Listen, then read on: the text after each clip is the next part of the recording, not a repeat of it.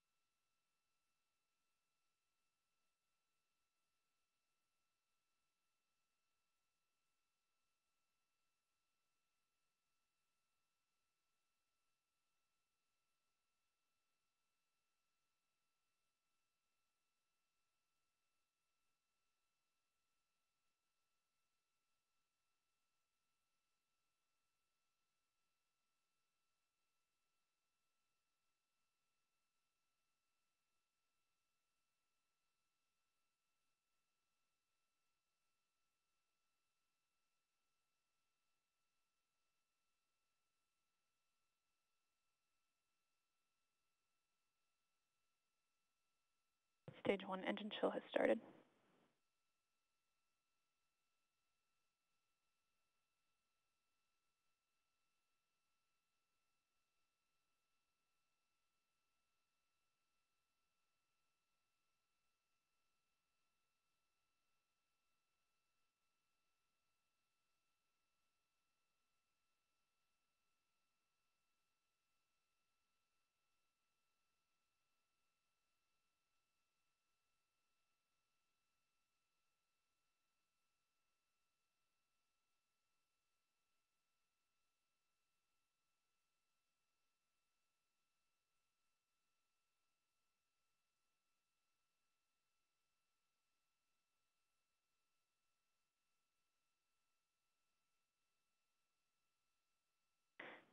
Stage 1 fuel load is complete.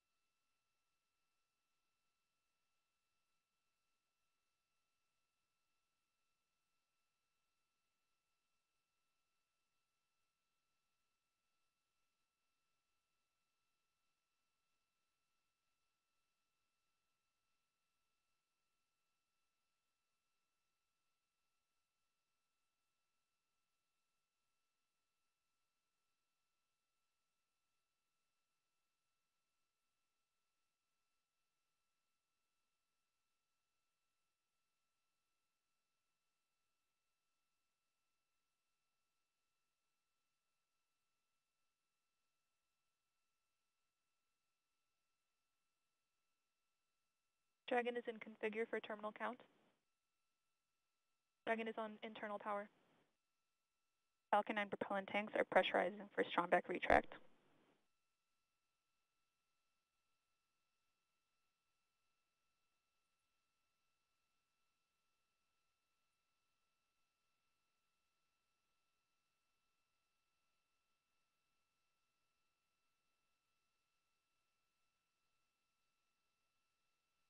Strongback is retracting.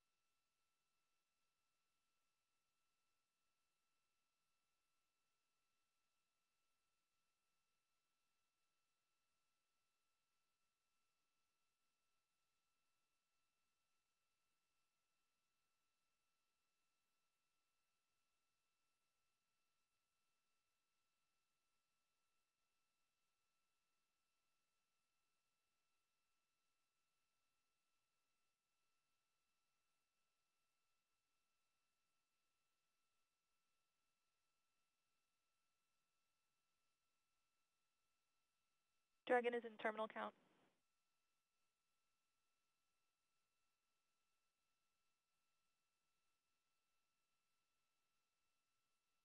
Stage 1 LOX load is complete.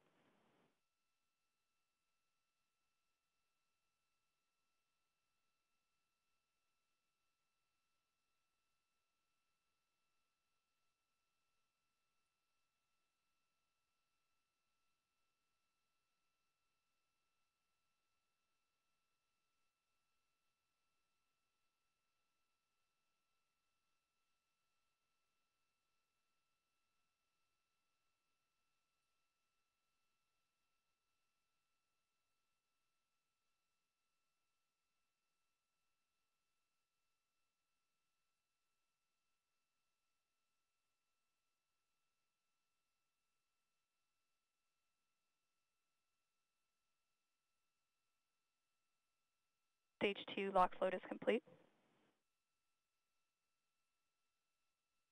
Dragon is in auto idle.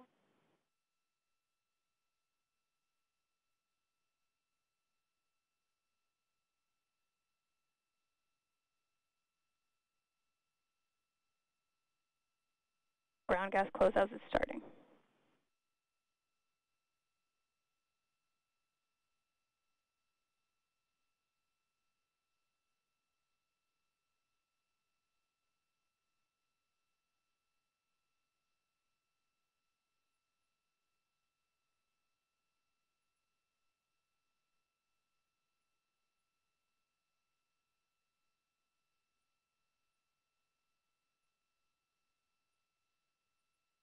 Dragon is FD in countdown.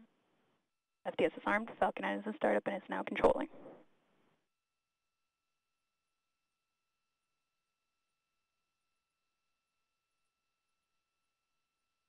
Dragon, SpaceX, go for launch.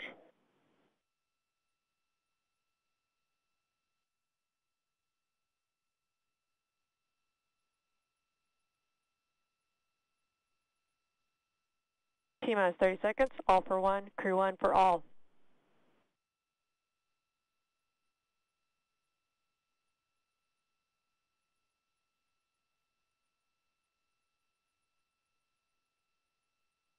T minus 15 seconds. Falcon 9 is configured for flight. 10, 9, 8, 7, 6, 5, 4, 3, 2, 1, 0. Ignition, liftoff.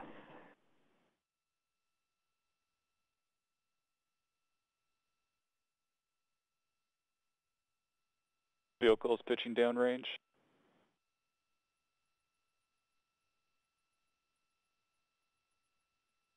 M1D propulsion is nominal.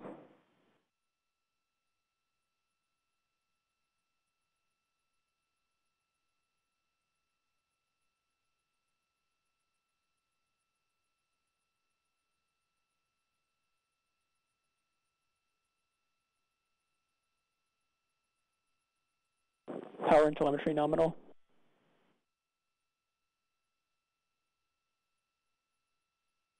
Stage 1, throttle down.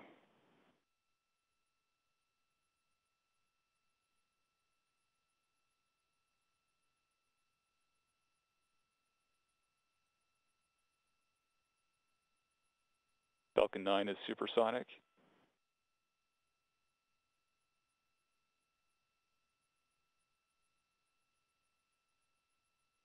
Max Q. Stage 1, throttle up.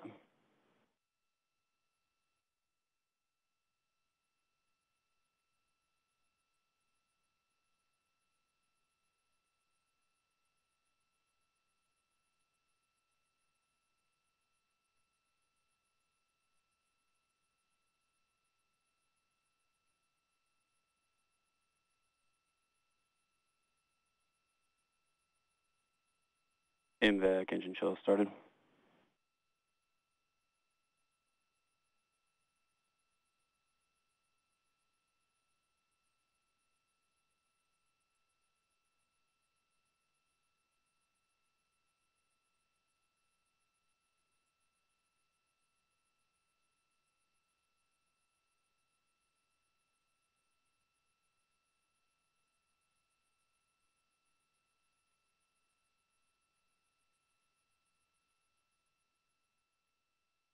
Stage 1, throttle down.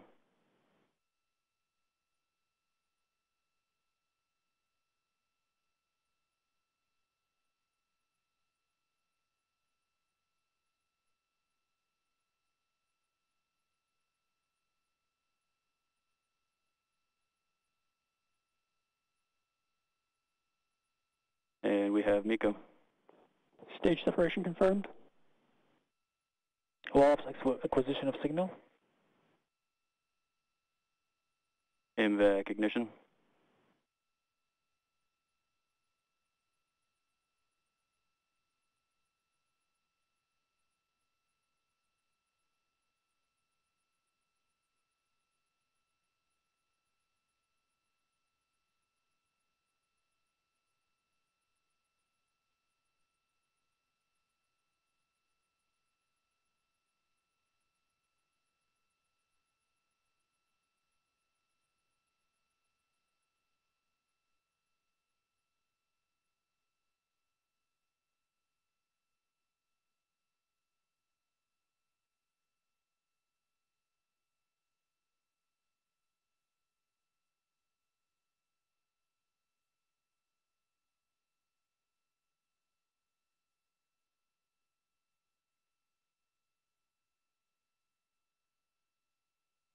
Dragon SpaceX trajectory nominal. Acquisition of signal Bermuda.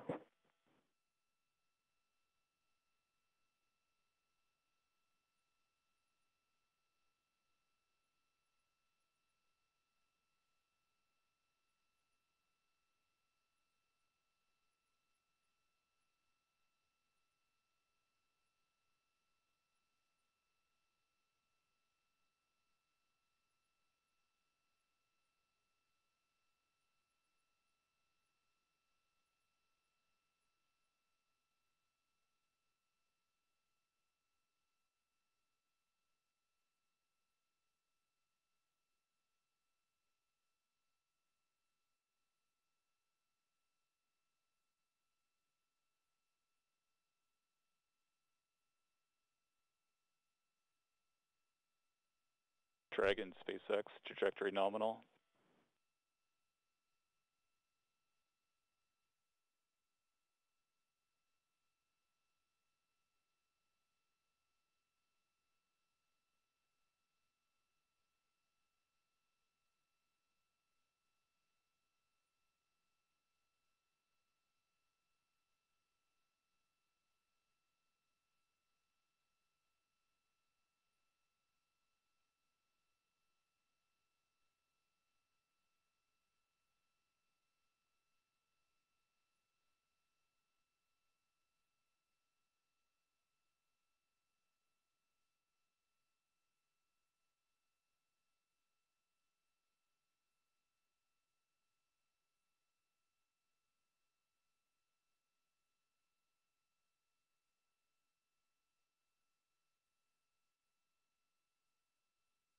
Dragon SpaceX trajectory nominal.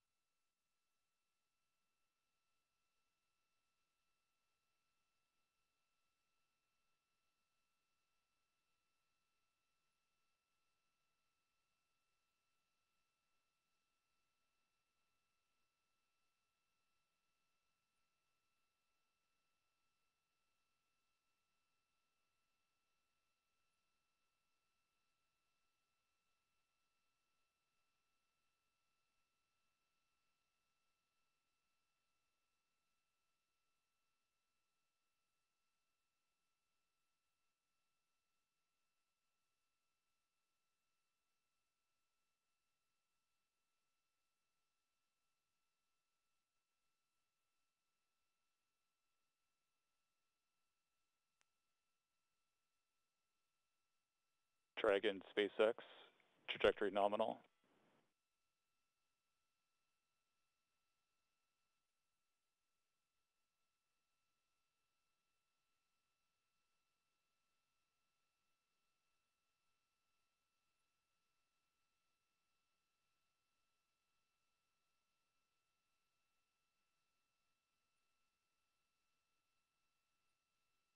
Stage 1 FTS is safed.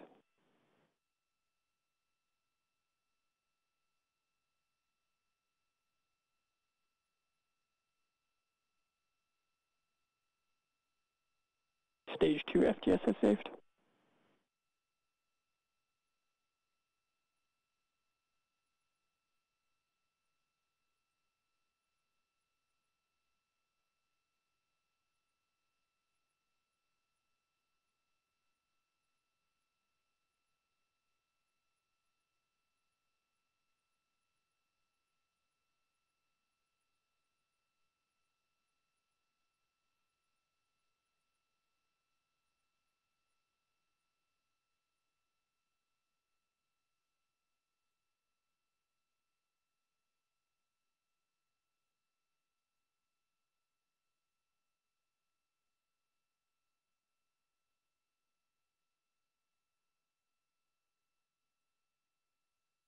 Stage 2 internal guidance.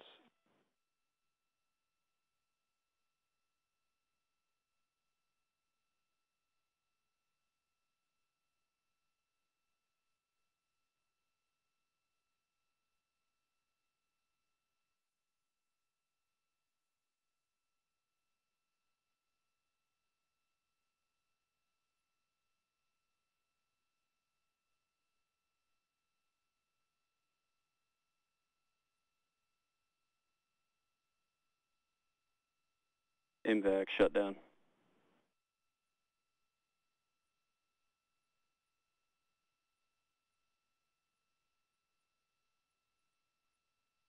Dragon SpaceX, nominal orb insertion. Launch escape system is disarmed.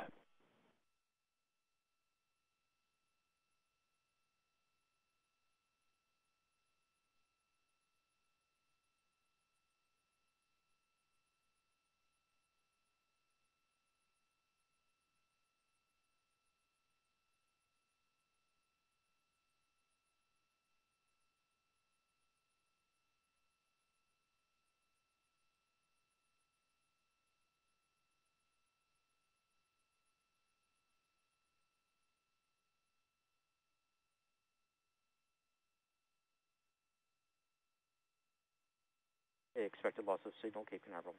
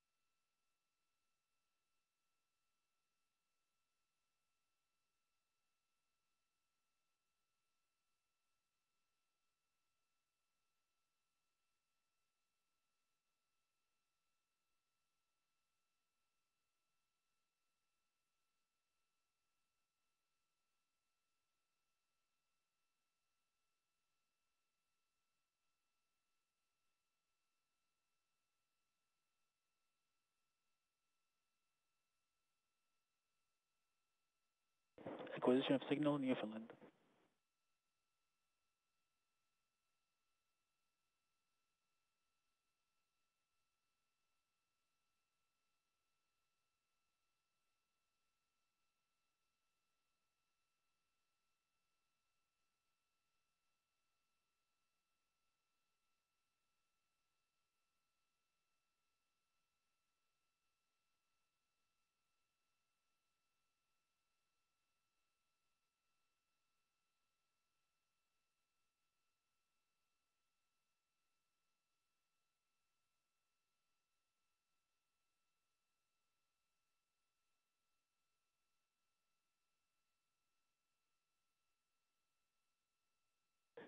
Dragon separation confirmed.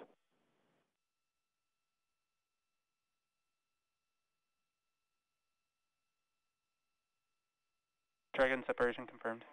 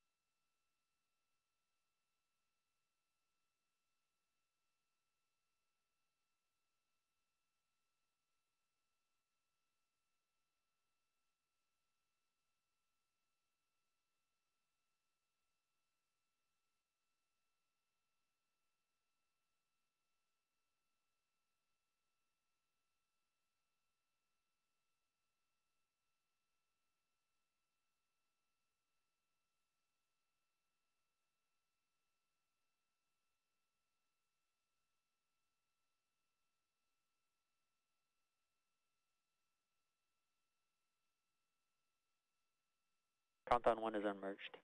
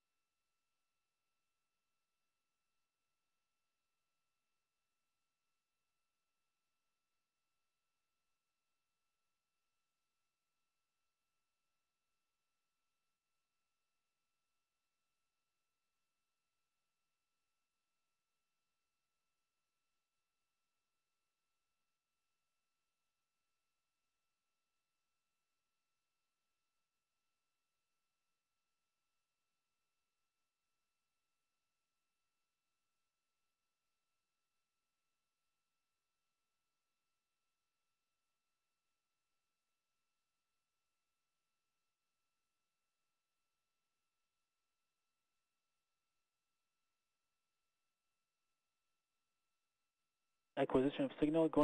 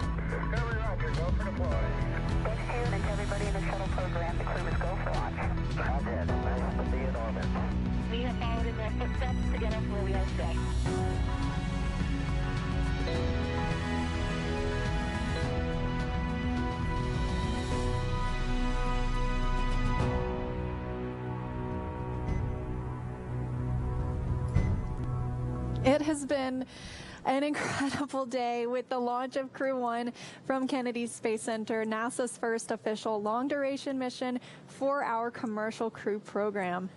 So exciting. What an amazing day. We watched the crew as they suited up.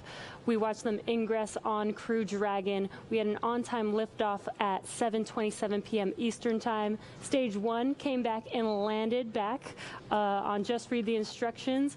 We got confirmation of Dragon separation as well as nose cone deploy. Yes, nose cone deploy came back clear, and we also had some good forward uh, Draco checkouts. So all good news there as the crew continues on the way to the International Space Station. And as we said, the mission has only just begun.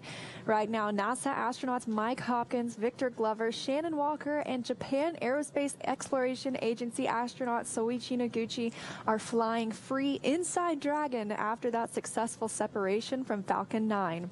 And now we've got about 27 hours until they arrive at the space station, and we'll be here with you for the entire trip. Immediately after the Dragon spacecraft separated from Falcon 9, it began what we call the activation and rendezvous phase of the mission. During this phase, Dragon is configured for on-orbit operations. The phase begins after separation of Dragon from Falcon 9 and ends with the completion of the final co-elliptic burn.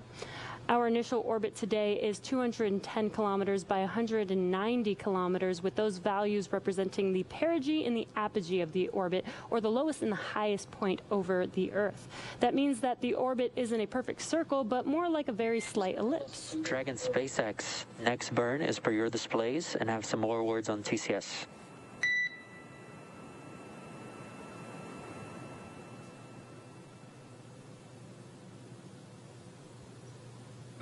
Okay, and SpaceX uh, Dragon is ready to copy. Okay, it looks like during activation, Loop Alpha had a pressure spike, which caused Fitter to trip and fill over to Loop Bravo. Uh, however, we, we do believe that Loop Alpha is healthy, and we're troubleshooting to understand, uh, you know, what our plan to recovery is. However, we would go for the burn in the current TCS configuration.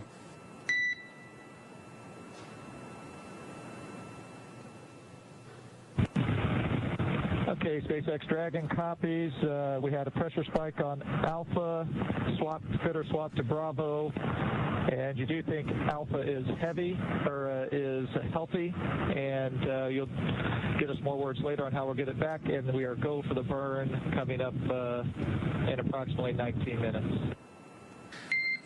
Yeah, good copy on TCS. Uh, regarding the go for the burn, we're still assessing our overall go for the vehicle. However, TCS uh, is in an acceptable configuration. Okay, yeah, Dragon copies. And we are also uh, still assessing cabin environment, and I expect to give you some more words on that shortly for suit offing.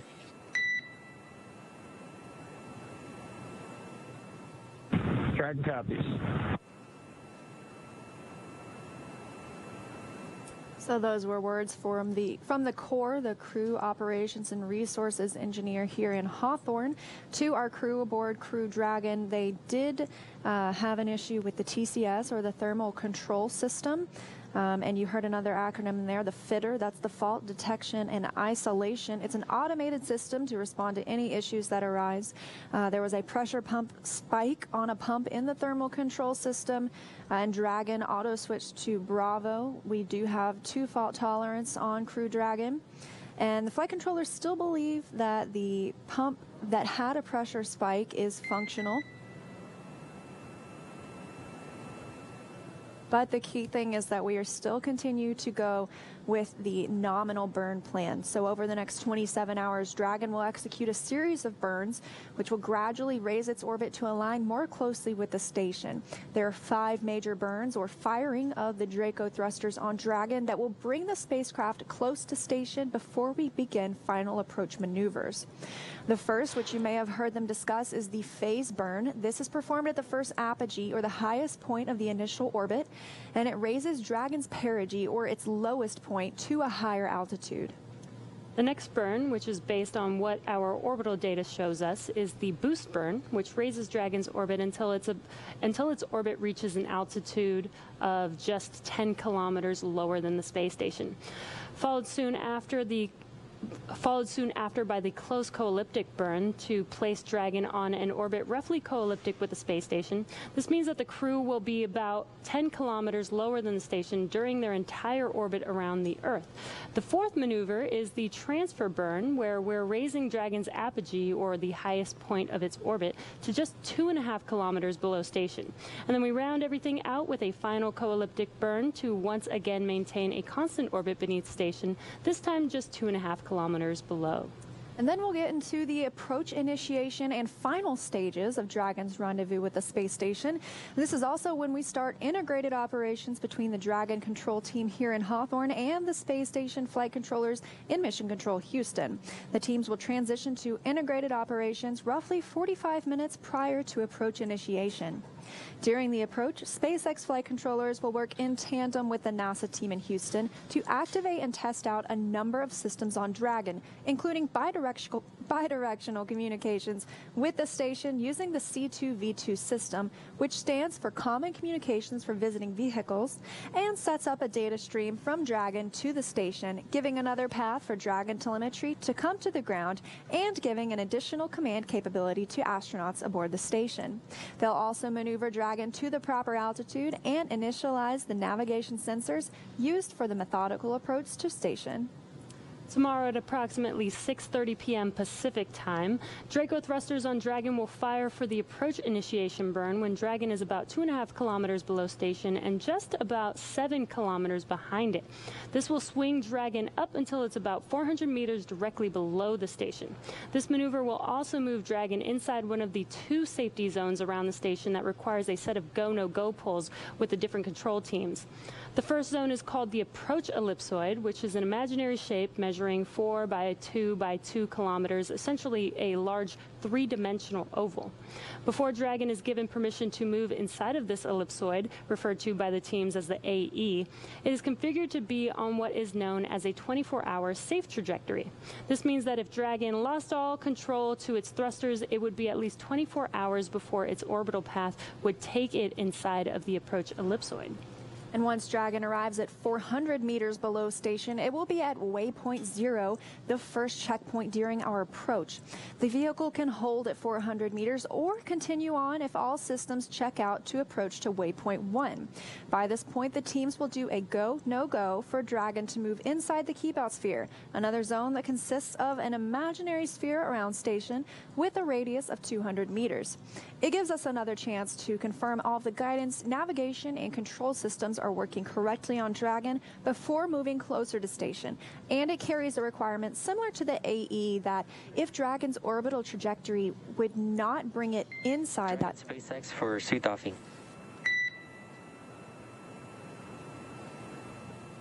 And go ahead for suit offing. Okay, at this time, uh, cabin environments are looking good.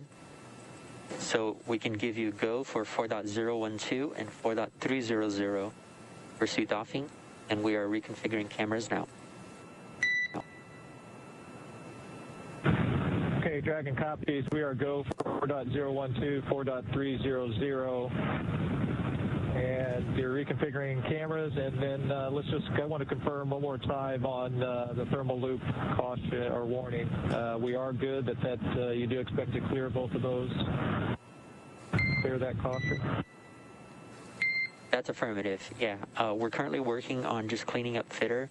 The response that occurred was both Loop Alpha and Bravo. They both saw the spike which resulted both of them in tripping fitter, and then we failed over to basically a min for min. Okay, which copy? Uh, you're cleaning up fitter right now, and so MS1 and pilot will be getting out of their seats and starting the uh, suit docking.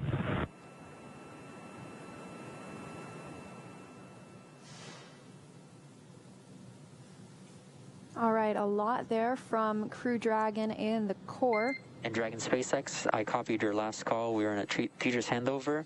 Have some more words on procedure deltas.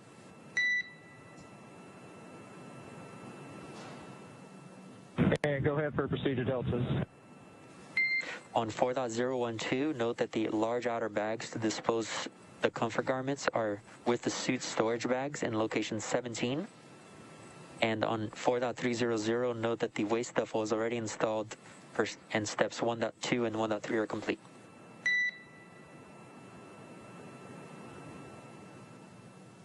Okay, we copy. Uh, large outer bags are with the suits, and the waste uh, bag is already installed.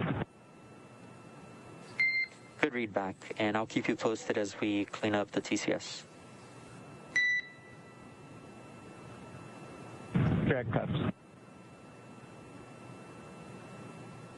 Hearing it directly from the astronauts themselves. They are go to doff their suits. They've had them on for quite a while today, and they are able to get into some more comfortable clothes. Um, and so, as you heard, they're also con- reconfiguring the cameras inside Crew Dragon to give them a little bit of privacy up there on orbit, as well as the thermal control system. They're working at clearing those issues, but everything so far looking good for Dragon. Dragon's move from waypoint 0 to waypoint 1 will swing it up and out in front of the station, pausing at a distance of approximately 220 meters. At this point, it will be on what we call the docking axis, which essentially means that it's directly in front of the docking port. The crew is headed to the forwardmost port on the International Space Station, the Node 2 forward port. That is where Dragon docked for both our demonstration missions and where one of the two international docking adapters is located. These were installed for new commercial spacecraft flights and any other future spacecraft that also use the International Docking Standard. And once Dragon is only 20 meters away at waypoint 2, the spacecraft focuses on aligning its docking system with the docking adapter. Dragon will then fly in and make contact with the IDA, giving us what we call soft capture. The soft capture ring then retracts until sensors indicate it's time for hooks to drive in place to give us a hard capture and firmly secure Dragon to station. And then it's time for leak checks and hatch opening, which is currently timelined to come about two hours following docking. So we have a lot of action to cover for the next 27 and a half hours. Let's head down to Mission Control Houston and check back in with Shaniqua Vereen to get a rundown of all the work being done on the station to prepare for Dragon's arrival. Shaniqua? Thanks, Jesse. A lot of work has been done on the space station before we got to this day to make sure we're launching Dragon and this new crew to a fully functioning orbital laboratory. Several hours before the crew boarded Dragon, the space station team did their own go no go poll. There are several key systems we have to ensure are functioning properly before NASA can give a go for launch. One of the more obvious is making sure our life support systems are functioning normally. This includes the ability to turn water into oxygen for the for the astronauts to breathe, the ability to remove carbon dioxide exhaled by station crew into the atmosphere, and our water recovery system, which is now able to recycle about 90% of the water we send to station.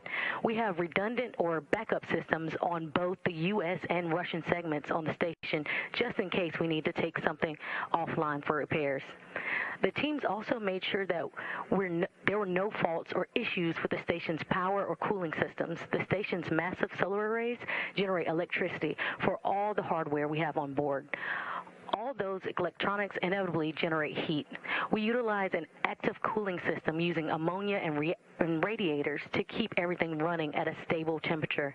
We also work with our Russian counterparts to ensure both means of controlling the station's attitude or Dragon which way it's pointing are fully functional. On the U.S. side, we have large gyroscopes spinning in the station's truss that are used to stabilize and orient the station on a day-to-day basis. On the Russian segment, we have large thrusters that can be uh, called no upon to use time. fuel stored aboard to, main, to maintain uh, to the station's attitude. Alerts ahead of the burn.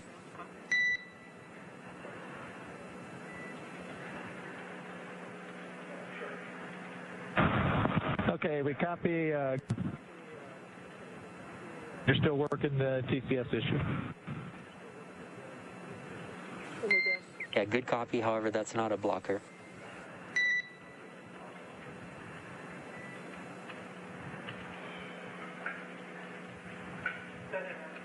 And say that again.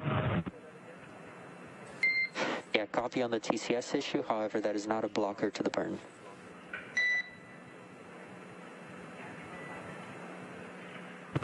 And we copy that.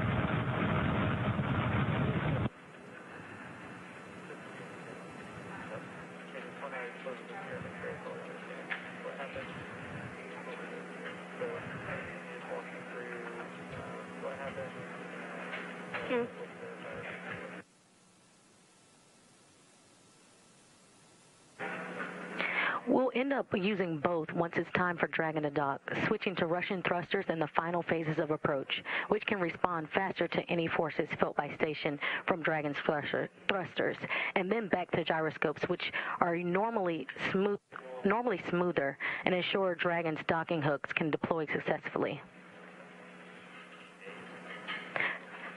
Right now, the Expedition 64 crew aboard the station is still asleep, but they're scheduled to wake up at midnight here in Houston, 6 a.m. GMT on Sunday to prepare on Monday to prepare for Dragon's SpaceX, docking. this is the crew resilience on the cabin mic comms. NASA astronaut and Expedition 64 flight engineer Kate Hello, Rubins Victor. will I've be got you monitoring loud and Dragon's clear on the approach. cabin mic.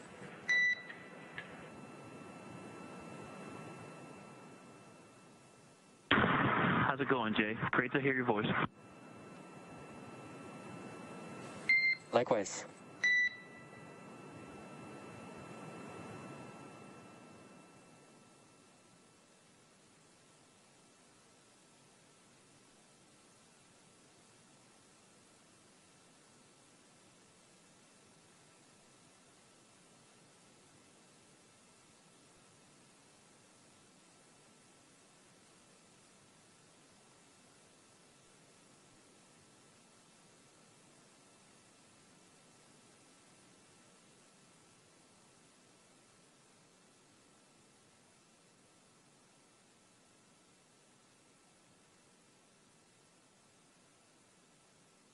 We're hearing good calls from the Corps on Dragon to ground.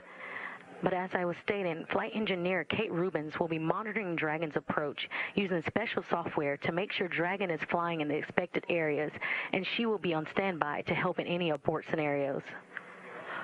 Once docked, she'll be primed for setting up the hardware on the station side to get ready for hatch opening and pre-positioning some ducting that will use to integrate Dragon's atmosphere with the rest of the station.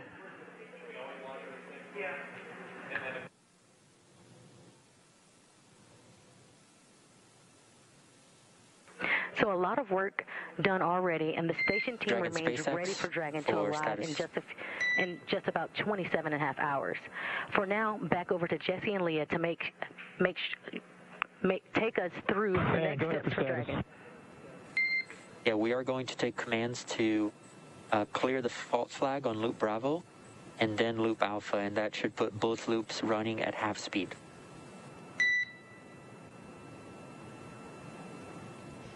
Thanks, Shaniqua. Uh, we are Okay, you're going to clear the fault on Bravo, then Alpha, then they should both be running at half speed uh, per nominal ops. Good copy, and we're putting that in work now.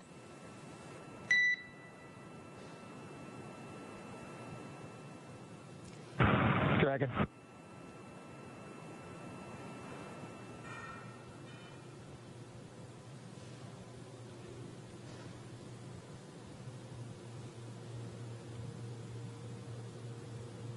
And it sounds like they were discussing those TCS thermal control system issues. They are putting both Loop A and Loop Bravo, Loop B, at 50% so that they can run nominal operations. But looks like we are getting ready to move into the phase burn. Yes, we are. So we're waiting for Dragon to move into that phase burn. And as we mentioned earlier, there are five major burns where Draco thrusters will ignite and bring the spacecraft close to the station before we begin final approach maneuvers. Our initial orbit after Dragon separated from Falcon 9 was 210 by 190 kilometers. Those values represent the or the orbit apogee, or the highest point over the Earth, and the perigee, or the lowest point over the Earth. That means that the orbit isn't a perfect circle, and we're going to see Dragon raise its orbit using the Draco thrusters over the coming hours as it chases down the space station. So, as we mentioned, the first major burn is the phase burn, which is performed at the first apogee of the initial orbit and raises Dragon's. Dragon SpaceX settling burns have started. Just reminder to minimize any dynamic movements during the burn, but okay to continue suit doffing.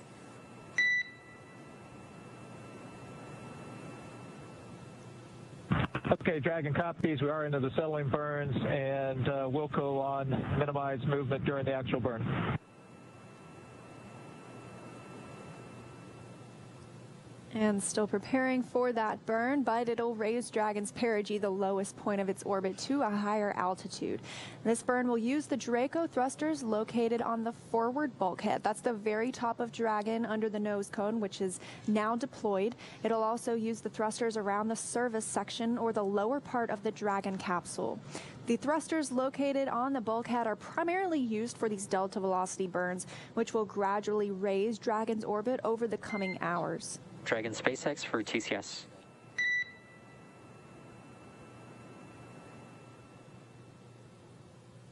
And go ahead for TCS.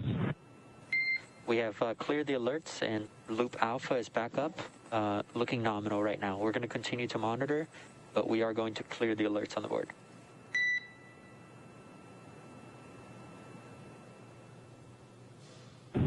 Okay, Loop, Loop Alpha is up. We see that. Uh, both are at half speeds, and you're going to clear the alerts off the board. Good readback. Yeah, and this is the nominal configuration.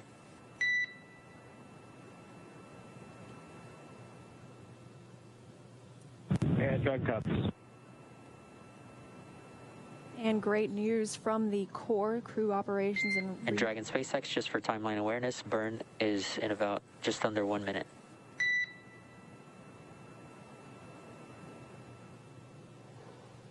And copy that. We see it starts in uh, 40 seconds. And just for your awareness, both uh, MS-1 and pilot are out of their suits, and they're getting them strapped into their seats this time. Copy all. And the phase burn should begin in just a few seconds from now. As you heard, the crew are still doffing their suits. They're allowed to continue moving around the capsule as long as they don't impart any forces on the capsule itself. Additionally, uh, great news that the TCS thermal control system is in a nominal configuration as they suspected that pump is still functional. And so Crew Dragon continues its journey to the International Space Station. Looking good. Yeah. Now, in addition to those four bulkhead Draco thrusters that Leah was mentioning earlier, there are 12 more Dracos in the service section, which is the area along the lower part of the Dragon capsule. These will be used in every burn and are primarily there to help maintain Dragon's altitude, which is especially important when doing the finely tuned approach into docking. They can also be used for smaller transitional maneuvers as well.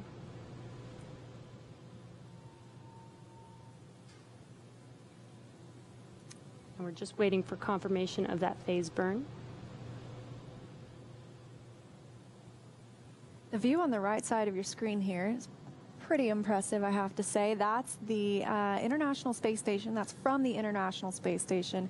It's solar arrays specifically, and it's currently flying, let's see here, over the South Pacific Ocean, about 267 statute miles above Earth. So Crew Dragon is uh, continuing its pursuit of the International Space Station, and that's where you can find it right now.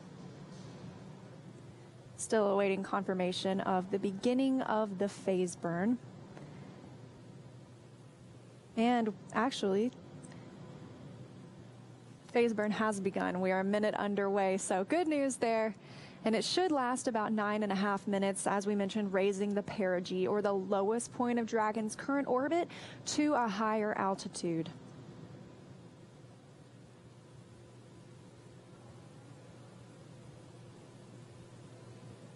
Got a lot of milestones coming up. You know, there were a lot in the countdown to the mission, but there is still a lot to go as it continues its approach to the space station. The next really major milestone comes at 1:10 a.m. Pacific time. Oh, and we're getting words that the burn is proceeding nominally, so that's good. Uh, but tomorrow morning, actually, it'll be uh, 4:10 a.m. Pacific time or Eastern time. The Crew Dragon crew will get some much-needed shut-eye. It's been a long day for them. Um, and we try not to really do any burns while they're asleep. We want to give them the opportunity to sleep because those burns, you know, might be a little bit loud, might wake them up. So uh, the next burn will be the boost burn. That won't come until 8:20 a.m. Pacific or 11:20 a.m. Eastern time. So those are just a couple of the things we can look forward to on Dragon's journey to the International Space Station. As we mentioned, though, those are just two of the five burns. We'll also have the close burn. That comes uh, at 9.02 a.m. Pacific, 12.02 p.m. Eastern. The transfer burn at 2.45 Pacific and 5.45 Eastern. And then the co-elliptic burn. Once these burns, these major burns are complete, we'll be done with the rendezvous phase. Um, and then we'll move into the approach initiation phase.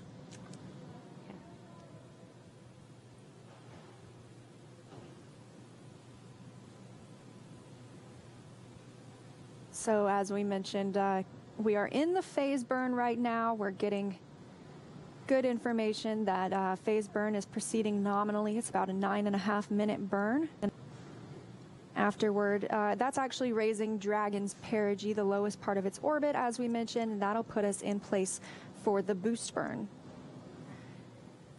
The boost burn uh, will not take place until tomorrow morning when the astronauts are starting to wake up. They might not be awake just yet. Uh, and after the boost burn, which will raise the apogee or the highest point of Dragon's orbit to 10 kilometers lower than the station, uh, that will we will find the closed co-elliptic burn. That's about 45 minutes after the boost burn, and it'll put Dragon's orbit roughly co-elliptic with the space station. That means that 10 kilometer orbit below station will be where Dragon stays around the Earth. Afterward, we have the transfer burn. That will adjust Dragon's apogee, the highest point of its orbit, to just 2.5 kilometers lower than the station orbit. And then the final co-elliptic burn about 45 minutes after the transfer burn, putting Dragon into an orbit co-elliptic with the station about 2.5 kilometers below it the entire way around the Earth. As we mentioned, after that, the rendezvous is complete and uh, will still be about 30 kilometers behind the station at that time. We'll have the approach initiation burn afterward. This, as we mentioned, is beginning that approach phase. Yeah, and all of these burns, uh, there's several different burns. They're all doing a different thing for Dragon, but basically it's a very precise maneuver to get to the station. It's very important to make sure that we get there slowly and steadily and make our way right in front of the docking port. Um, so every single one of these burns is extremely important and extremely precise. Absolutely. And I think it's almost uh, dinner time. Yeah, I think they're getting ready for a meal coming up in just about um, a few minutes here, about 12 minutes at 5:30 p.m. Pacific time. The crew will have their first meal on board Dragon, and they have enough food on board Dragon for 12 meals each uh, along with snacks uh, for the trip up. And these are MREs or meals ready to eat. They're essentially prepackaged meals ready for consumption without any heating or additional uh, ingredients. And they also have uh, 55 liters or about 12, 14.5 gallons of water with them. Yeah, and these are a little bit different. Actually, they might be a, a, good bit different from their food that they can expect on the International Space Station. MREs, like you said, meals ready to eat. They don't require any work, which sounds like a dream sometimes to me personally. I love that kind of food. No cooking. But they just uh, they just have to open the package and they can eat their dinner. Whereas on the International Space Station, we have thermostabilized food for some of the options, and uh, the astronauts can there's a small nozzle on each package, and they can plug that into a water source, which will um, they can turn it to the correct temperature setting that the, that reads on the package, and put the water in. Now ma- mash it around a little bit, uh, make sure it, it gets all of the food heated up, and then it's ready to eat. So that system isn't on Crew Dragon because it's really only for short destinations. Um, so MREs for now. Yeah, it sounds uh, very convenient with that small space inside of Dragon that they don't have to do all that cooking and, and rehydrating of their food. They can just pull out their food and uh, eat it right then and there. Yeah, and it also means you don't have to wait on everybody else to heat up their food before No you get to heat up your food. So Right. everybody can eat dinner at the same time. and a reminder, we are still in the phase burn. And a little under three minutes left. Dracos are looking good. Burn is proceeding nominally. It was a nine and a half minute burn. We are standing by for more information as we continue. This burn, as we said, will raise the apogee, the highest point of Dragon's orbit, to 10 kilometers lower than the International Space Station. That beautiful view on the right hand side.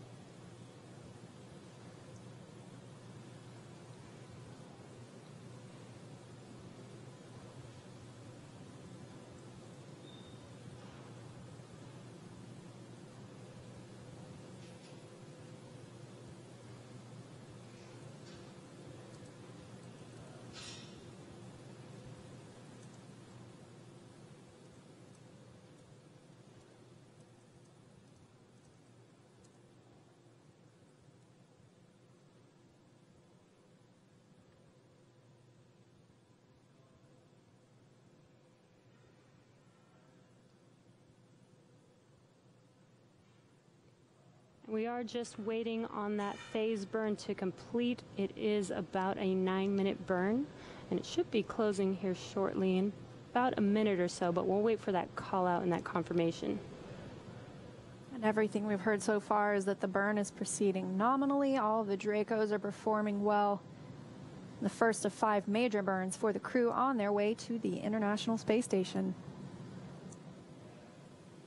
International Space Station will be their home for the next six months. And a really interesting fact is this flight today makes Soichi Noguchi only the third person ever to fly on three different spacecraft.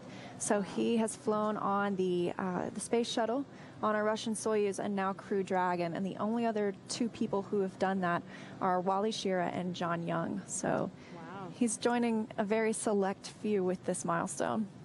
It's amazing. We are still waiting for that phase burn confirmation. We are getting some really awesome views of Earth. Yeah, that never gets old. I wonder what the crew members are thinking, especially Victor, if this is his first time, you know, in space, seeing the world in this uh, view here. That that's incredible. Dragon SpaceX, nominal burn.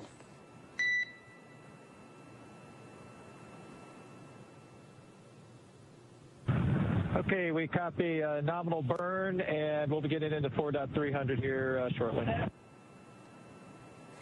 Copy, getting into 4.300 shortly, and we can confirm there will be no out of plane burn.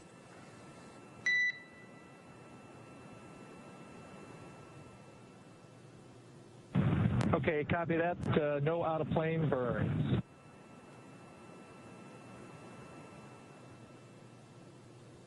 And there's that confirmation of that phase burn is complete and nominal.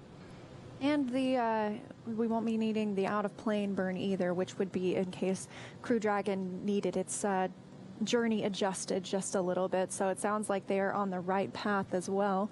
But yes, good confirmation of the phase burn, the first of five major burns as Crew Dragon makes its way to the International Space Station. So we uh, we do have 27 hours, and we would love to answer some of your questions on social media. So if you're curious about some aspect of today's crew mission, please submit your question with the hashtag AskNASA, and we'll try our best to answer it. This first one comes from Nico, who wants to know why it takes about 27 hours to reach the space station on this flight compared with about, about eight hours if we had launched yesterday. And I think the key word is phasing. Um, it, it really just depends on phasing, but also it doesn't necessarily take Crew Dragon 27 hours to reach the International Space Station. It just takes long enough that our crew is going to need a sleep period in that time. So we had to factor in a sleep period. That way they are alert and cognizant and ready to uh, to step in in case anything needed to be done manually on the mission. So it is a bit longer, but we're here for the whole thing and you can join us. Sounds very smart that they plan in sleep because I don't know if I, I was uh, went all day, 24 hours trying to make it to the station and then trying to function. So I'm glad that uh, they'll get some rest in uh, during their trip there. Absolutely. Another good question. Crew Dragon of the Crew 1 mission. Is this a new capsule or is this the refurbished DM2 vehicle? You want to take that? This is a brand new uh, vehicle for Crew 1. Um, we did not refurbish Demo 2 for this specific mission. Um, so it is a brand new capsule. The, these are the first uh, four astronauts that get to uh, fly on this vehicle. So it must be really exciting for them to get to fly on not only a new uh, spacecraft, but a new vehicle itself as well. Absolutely. And very cool is that the Demo 2 vehicle, Endeavor, which is what Bob Behnken and Doug Hurley named it, that will be the vehicle for Crew 2 coming up next year. And so I, I also learned that uh, it will keep its name, Endeavor. The new crew won't rename it moving forward. So that's that's pretty cool. Yeah, that actually is going to be a really exciting flight because we will also be refurbishing the first stage booster on today's flight for Crew 2 as well. As we get some more beautiful views from the International Space Station on the right hand side, let's see, it's currently flying. It's actually about to enter an orbital sunset or an orbital nighttime, I should say.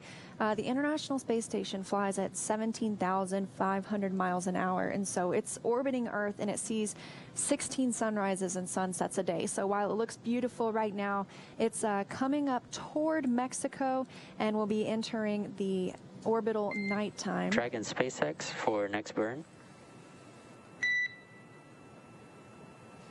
And go ahead for the next burn.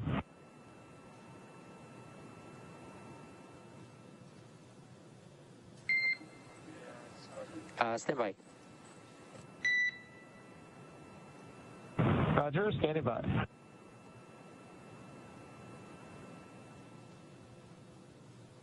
But I was mentioning it's uh, oh, and a, a really cool view right now. You can see the Cygnus resupply com- or commercial resupply spacecraft on the International Space Station. Those two solar arrays that look like cymbals makes it really easy to spot, and that actually brought up some of the science that Crew One is going to be working on while they're on the space station. We'll chat a little bit more about that later. Awesome. So we have another question here from NASA. When or at NASA, when do you get, when do you get to contact family when in space? That's a good question, and you know it's very fortunate. The astronauts, I've actually heard many say, especially if they were in the military, they were able to speak with their families more on the space station than they were, you know, while deployed sometimes, and so they get the opportunity to FaceTime or I guess. And SpaceX from Dragon Pursuit suit off steps. Dragon SpaceX, go ahead. Hey Jay, uh, as we mentioned earlier, MS1 and pilot are complete uh, with their suit doffing. Uh, we've completed 4.300 and Commander and MS2 are going off umbilicals at this time to start the suit doffing. Copy. MS1 pilot complete, and com Commander and MS2 uh, are starting their suit doffing now and complete with 4.300. And I'm ready for that burn. And I'm ready. Okay, yeah, go ahead and uh, give us some words on the burn. Okay, the boost burn is as scheduled, uh, currently showing 1620 42 UTC. However, ahead of that time, we may or may not take additional phase burns or out of plane burns, but we're not currently, uh, you know, there's nothing uh, the vehicle's planning right now. Okay, we copy. So the next burn is currently that boost burn at 1620. Uh, however, there there could be uh, some additional burns uh, in between, but nothing at this time. Correct, and we'll keep you posted if that changes. Dragon copies. Hey, uh, Jay, one last thing. Go ahead.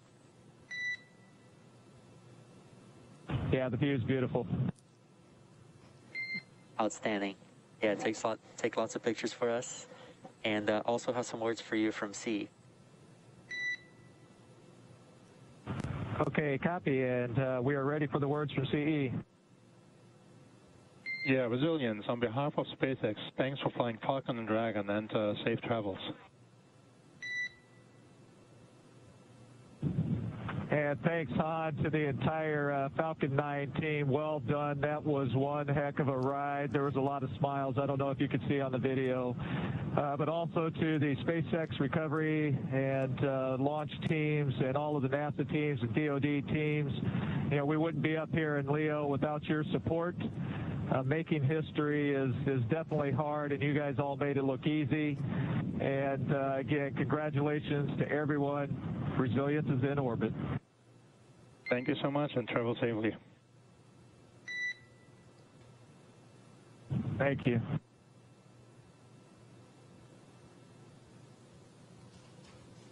Some amazing words from the crew on board, and what you're looking at on your screen is actually live views from Dragon itself, from Resilience right now. So we are getting to see what the crew is seeing as well on board. And they did say it was beautiful, and I have to agree. I don't know if there's ever a time you're flying over and it's not beautiful. so Right. it has to be a very interesting first flight for Victor, and getting to share it with people he's very close with is really cool too. Right, I can't even imagine. So, uh, getting back to Rohan's question, when do you get to contact family when in space? Uh, as I mentioned, you, the astronauts do have scheduled times they can video chat with their families. Uh, they also have a phone that which they can dial their families from up there. So uh, they they get to talk with them pretty frequently, sometimes daily, uh, and I think maybe weekly for the video conferences. Yeah, it sounds really convenient and uh, probably something that they could really use while they're away for six months. Um, and it sounds like they'll get to video chat. Uh, at least they've gotten some practice with the pandemic uh, Yeah. doing video chatting. Um, so hopefully they're used to it, but um, really amazing that they get to still communicate with their families back on Earth. I know, I was thinking the same thing. It's been very, very similar this year. You know, we're all getting a little taste of what it's like to be an astronaut on a long duration bit. mission and having to be just a little bit isolated, you know, in your own space for an extended period of time and, and life just becomes much more virtual. And so I think we can understand just a little bit more what it's like to be in their shoes or their suits. Right.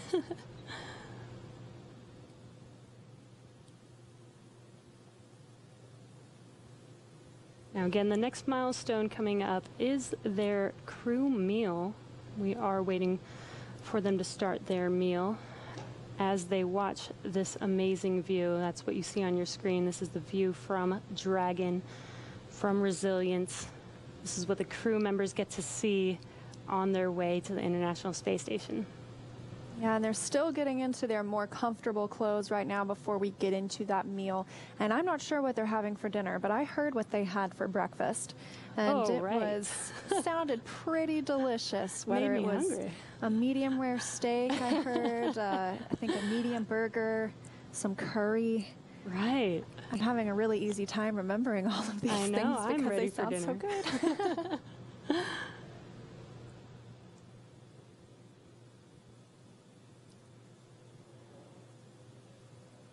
Again, we are waiting for the crew to finish getting out of their suits and getting comfortable and getting ready for their midday meal.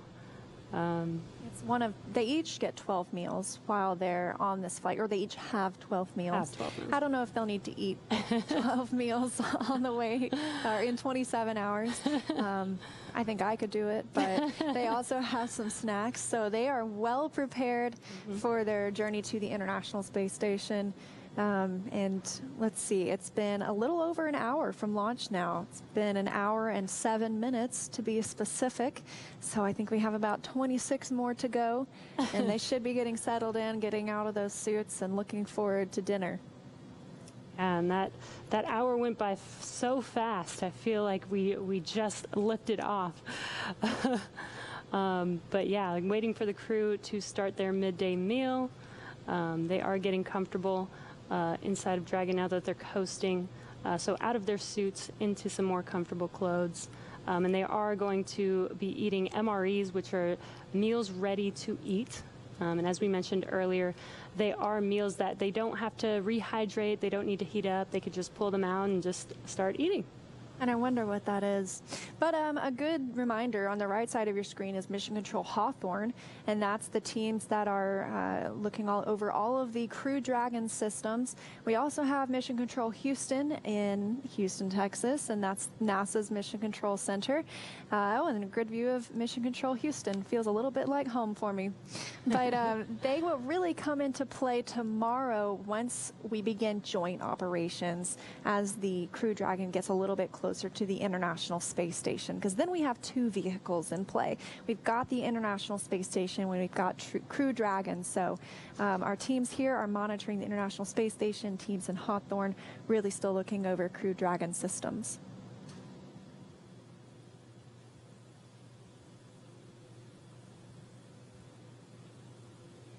Again, if you're just now joining us, we did have an on-time liftoff of our Crew 1 uh, mission today, and now we are coasting on Dragon. Uh, we are waiting for the crew to start their midday meal as they are getting comfortable inside of Dragon right now as they coast towards the International Space Station. Yeah, and just a little bit of a reminder.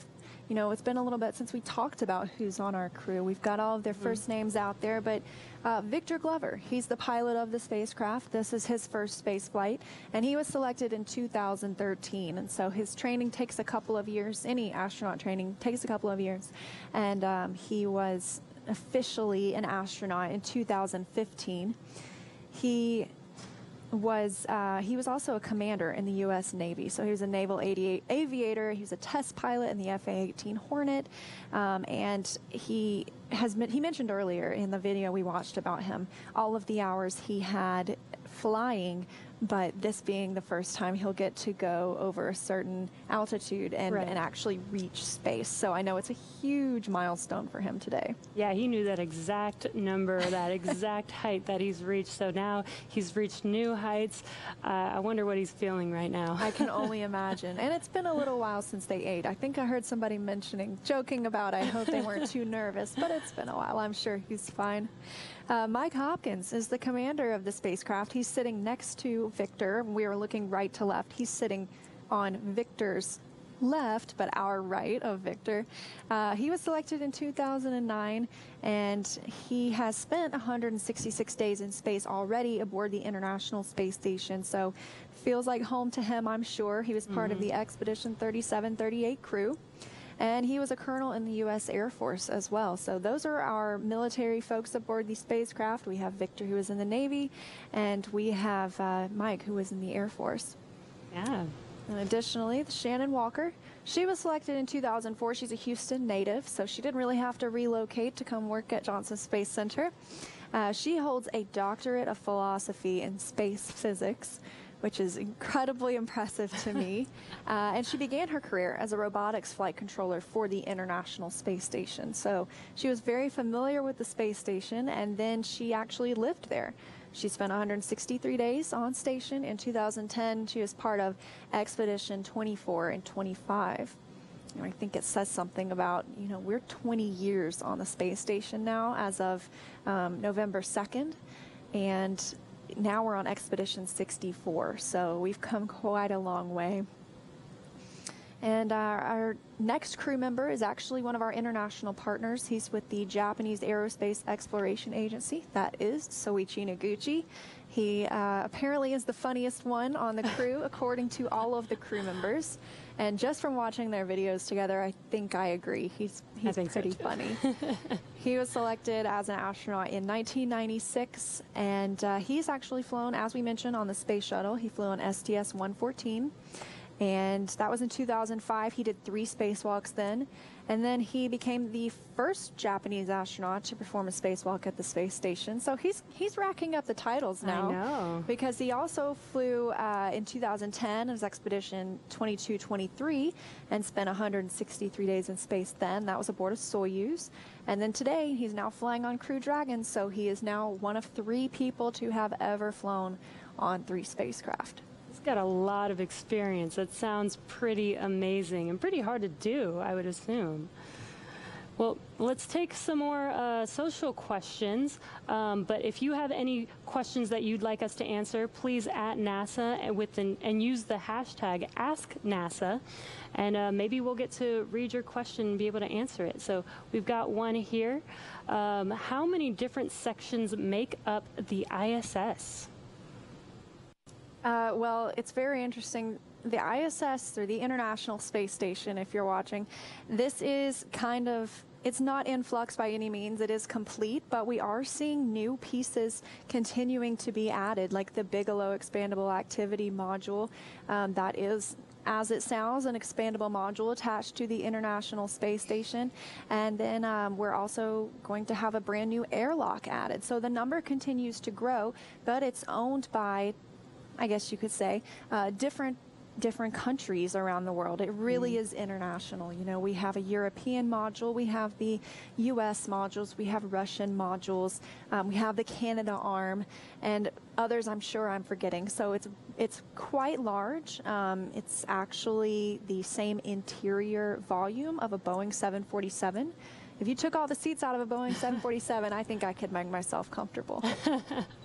and just sh- goes to show you how important teamwork is, right? We have all these countries working together, and that makes up the International Space Station, which is incredible. And now we have more crew members, a diverse set of crew members, on their way to join the other astronauts on board the International Space Station.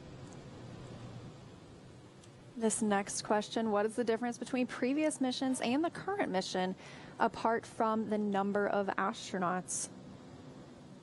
So uh, as we saw earlier this year, DM2, actually DM stands for demonstration mission. So that was still a test flight. We had Bob Behnken and Doug Hurley live on the International Space Station for a couple of months.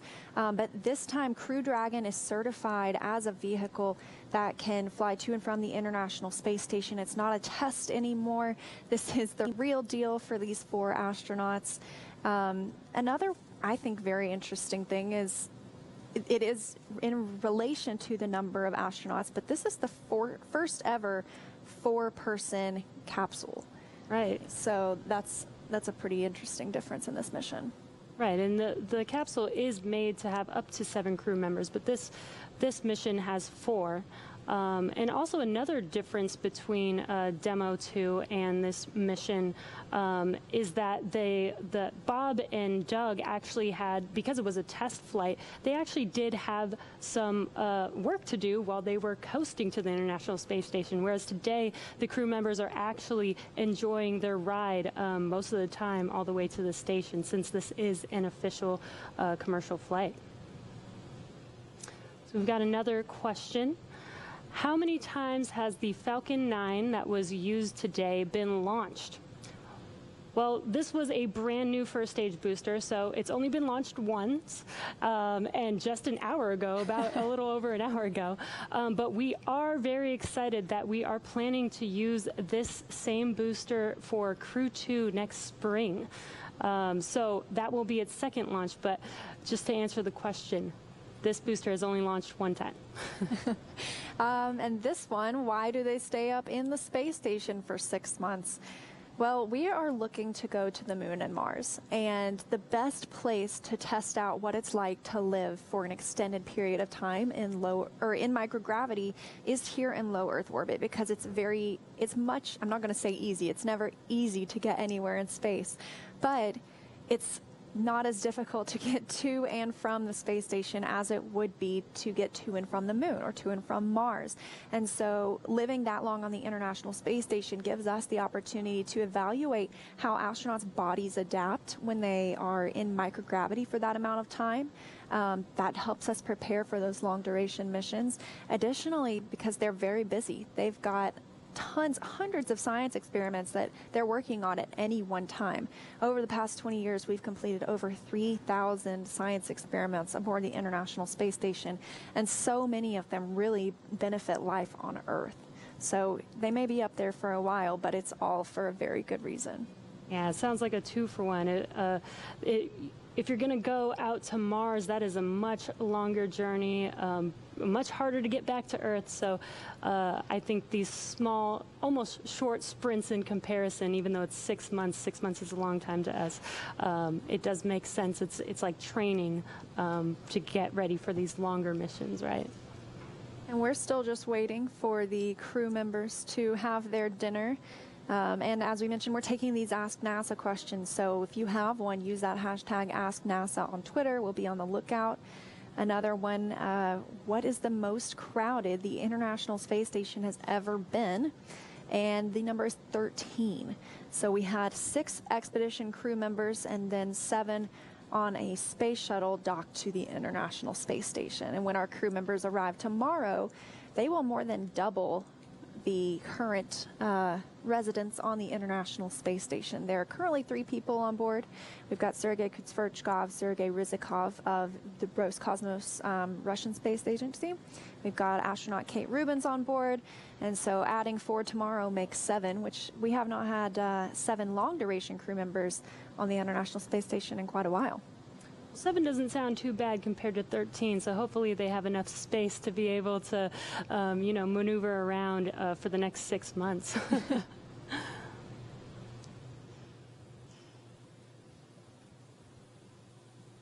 so we've got another social question. What's the new crew going to be working on for the next six months? Well, we talked about some of the science, and some of the science, as we mentioned, happens on their bodies. Um, they take biological samples that are then compared to ones that were taken before they launched. Um, and then they're taken some more once they get back, and that's all in comparison to how their body adapts uh, to microgravity. We heard someone speaking about tissue chips e earlier. They can. Sounded so cool. It's so cool. it's totally beyond me, but um, you can put organs on chips, and essentially it, it gives them a better idea, give scientists an easier look at how potential drugs uh, affect organs and um, and also just helps us to develop things that may eventually heal or treat some of what we deal with on Earth. Yeah, I'm looking forward to hearing all like the updates uh, on some of these science experiments, especially the tissue chips one. Yeah, absolutely. And we're going to talk a little bit more about science uh, later because we have quite a list of just examples. But um, let's see this one. Will Crew 2 arrive before Crew 1 departs? And will there be any overlapping arrivals and departures? That's a really good question. So the timing is actually Crew 1 should return prior to liftoff of Crew 2. That's uh, that's the schedule so far, but it might actually overlap um, when we do lift off crew two. So we don't have the exact schedule just yet, so we will have to wait to see um, when we announce those schedules. I think actually we will have a direct handover. Crew 2 will arrive at the International Space Station, and then Crew 1 will leave. Ah, so okay. we'll have two Crew Dragons on the space station at one time. That'll be pretty cool. Yeah. This one, uh, do you have plans to take seven people in a Dragon space capsule? You can talk a little bit more about that. Well, Crew Dragon is uh, made and designed to carry up seven to carry up seven crew members. So there will be a time in the future to have um, a seven-member um, vehicle go up to the space station. But I believe Crew 2 is actually going to be another four-person uh, crew flight. But it is designed to have up to seven crew members. So hopefully soon in the future. Yeah, absolutely. And um, NASA doesn't have any current plans to expand from that four person crew, but as you mentioned, Dragon can fly seven, so we will have to see one day, um, maybe on commercial missions, what, what we do with putting seven people on board. Yeah.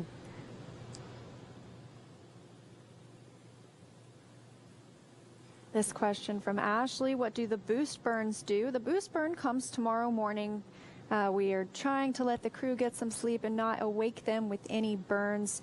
Um, and so boost burn will raise their apogee, the highest point of their orbit, to 10 kilometers lower than the station. That'll be the second of those five major burns we talked about, uh, propelling Crew Dragon toward the International Space Station. So that's the next burn we're looking forward to. We've just had the phase burn, everything looking well for Dragon. Um, and we will not have a burn until tomorrow morning. So quite a bit of time in between that we're going to let the crew get a meal, get some sleep, and then wake up early tomorrow and get ready for their arrival to their new home on the space station. Right, and as you mentioned earlier, if they do uh, tread the course or go a little bit off course, they will use some extra phase burns if needed, but so far everything is looking good um, for that next burn being uh, the boost burn. We've got another question. Do the astronauts have some place in the Dragon to sleep, or are they sleeping in their chairs? they actually are sleeping in their chairs. Yeah. Um, they can take off those foot restraints and stow those, so that's an option. It also gives them a little more room to float around inside the capsule, Mhm. and it's a little more crowded this time with uh, four people. Four people instead of just two, and so we have. Um, We'll have that opportunity. They also have some window covers that they can put up inside Crew Dragon because, as we mentioned, they're going around the Earth every 90 minutes. Right. And that would really mess with your circadian rhythm if you couldn't get some good shut eye, some good darkness for that full time. And so instead of going in and out of sunlight every 45 minutes, they're going to put up those window covers and hopefully feel like a real nighttime, get some real sleep. Yeah, and just as a reminder, these are custom seats for them, so they are made for each one of the crew members. So they should be pretty comfortable, uh, I would hope. Uh, so they should be able to get some good sleep, knowing that they they are custom fitted for each uh, crew member on board. So we have another question from John. How do they do laundry on the ISS? That's a really great question. I love this question because I wish the answer was true for me. Uh, the answer is they don't. They don't do laundry on the International Space Station. They uh, simply throw out their clothes. So Oh wow. I know. So they can wear them a certain amount of times, and they may choose to bring some back with them. Um, however, typically any older, dirty clothes they can put on the uh, the commercial resupply vehicles that do not splash down or that just burn up in space. So there's not really a trash can. There's not a laundry machine on the space station. They put them inside of those uh, those vehicles that burn up in the atmosphere, and that takes care of that. So if you don't like doing laundry, become an astronaut. yeah, that's a great point. I could do that. We've got one more question. What personal items can you take to the ISS? You mentioned this earlier. Uh, they can only take approved um, items with them. So, what are the approved items uh, that NASA will allow the astronauts to bring with them?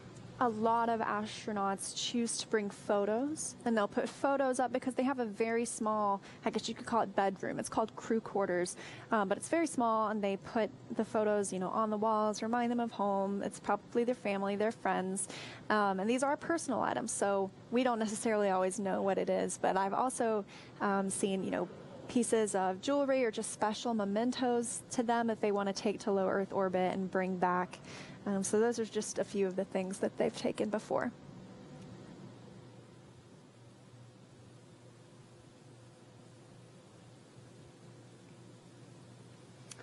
And again, we are just waiting for the crew to begin their midday meal. Um, so far, we've had an on-time liftoff of our Crew 1 mission.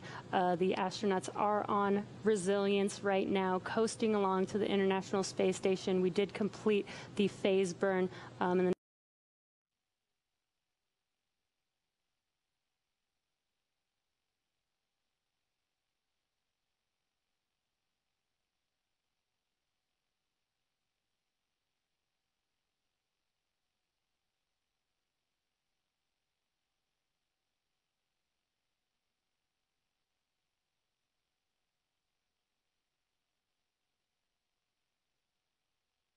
sleep.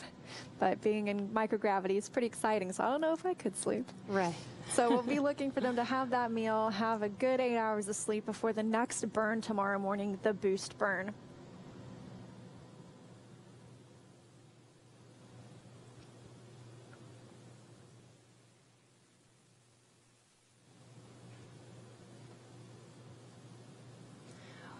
We are going to take a quick break, um, but we will be back. Uh, what you'll see on your screen is some uh, live uh, animation for where the crew is throughout their journey, Um, but we'll be right back.